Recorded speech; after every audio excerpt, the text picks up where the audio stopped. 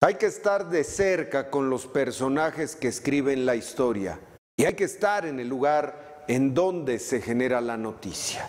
Es por eso que nosotros insistimos y logramos y agradecemos que el expresidente Felipe Calderón Hinojosa haya accedido a una plática exclusiva, una plática en la cual tocamos este, varios eh, temas y que le vamos a presentar lo que resta de esta semana por partes.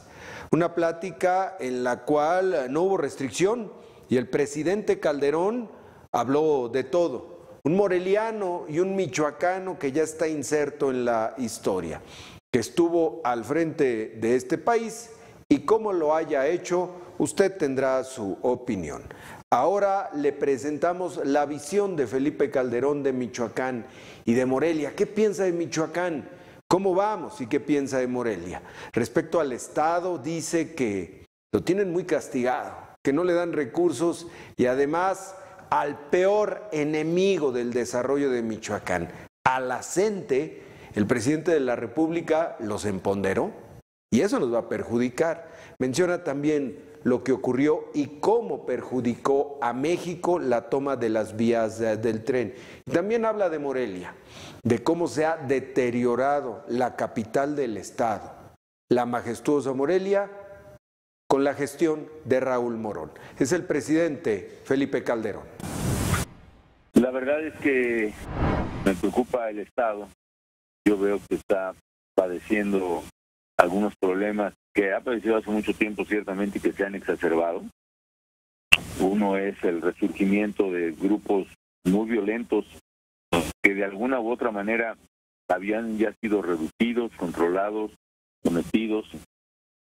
Eh, en, en, parte de mi gobierno con una fuerte presencia de las fuerzas federales en que se logró tranquilizar, no totalmente pero de una manera importante la vida del Estado. Eh, y sin embargo ha habido un resurgimiento que me preocupa mucho.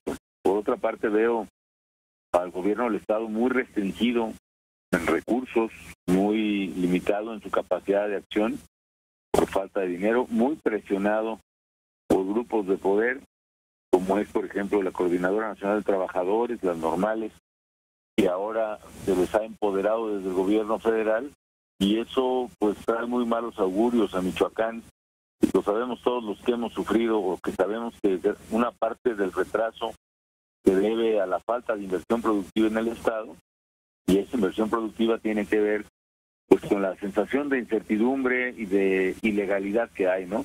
Bloqueos, plantones, arbitrariedades que alteran la vida de los ciudadanos, que vulneran los derechos de comerciantes, de transeúntes y eso pues se debe venir fuertemente este mismo año el, bloqueo, por ejemplo, hecho a las vías del ferrocarril de Michoacán sin que nadie hiciera nada, afectó a todo el país, afectó incluso a varias compañías, tanto en México como en Estados Unidos. La dimensión del impacto brutal y no quiero imaginar cuánto le afectó a los propios michoacanos, pero sobre todo la señal que se da, ¿no? De que usted aquí puede hacer lo que quiera sin que nunca le pasa nada.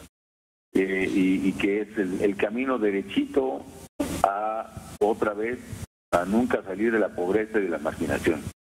Eh, Michoacán, por otra parte, lo veo con una gran potencialidad, como siempre.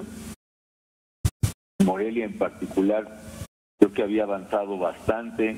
Creo que fue de muy buen impacto la creación de la nueva policía municipal hace algunos años. Sin embargo, ahora hay cierto deterioro, mucha presión del ambulantaje sobre las autoridades. Si se deja que el ambulantaje se apodere nuevamente del centro histórico, va a acabar Morelia como opción del mercado turístico colonial y típico, que tenemos una ventaja brutal ahí. Y si se pierde eso, se van a perder muchos, muchos empleos. Pero este ambiente, insisto, de... Eh, lo digo con las palabras que usan los manifestantes aquí en la Ciudad de México, de anarquía, muere el Estado, arriba la anarquía, este, no puede traer cosas buenas. Ojalá que Michoacán pueda salir adelante ante estos retos tan dramáticos que enfrenta.